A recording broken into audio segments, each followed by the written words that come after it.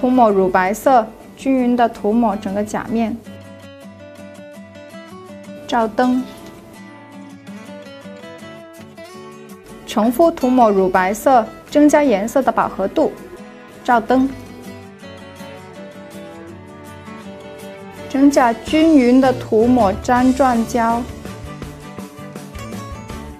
把贝壳片粘到指甲的后缘。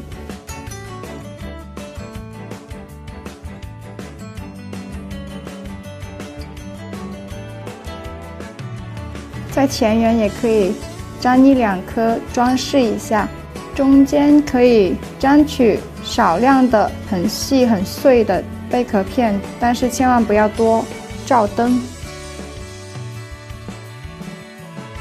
整甲均匀的刷上免洗磨砂封层。照灯，用海绵搓泡一下甲面。使甲面更加平整一些，清洁一下甲面，整个甲面用清水把它打湿。这时候可以加进我们的晕染液，会有一个自动散开的一个效果。贝壳片的上方它会有一个层叠的效果。在甲片的前缘加上紫色的晕染液。我们用另外一个笔沾取酒精，酒精滴进去的时候，它会形成一个散开的一个效果，跟刚才水的效果稍微有一点点不一样。整体的效果也像是水滴在纸上的那种水晕开的效果。这时候可以在颜色浅的地方稍微再加深一下。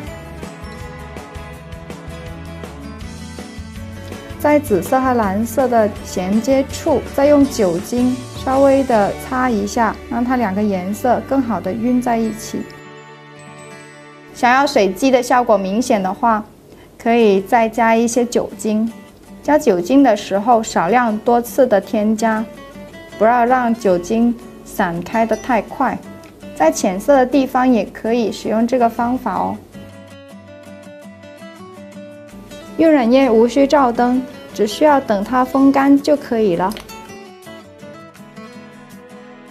用粘砖胶粘上方形的大理石片，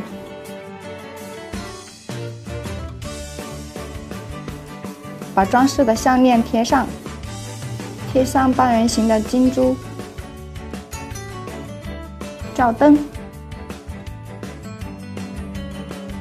在大理石片上。再涂抹一层薄薄的粘钻胶，用最小号的金属铆钉装饰一下。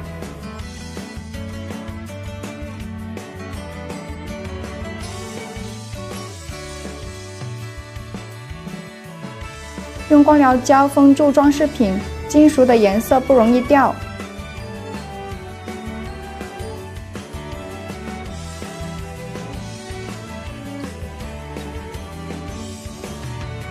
整甲均匀的刷上免洗封层就完成了。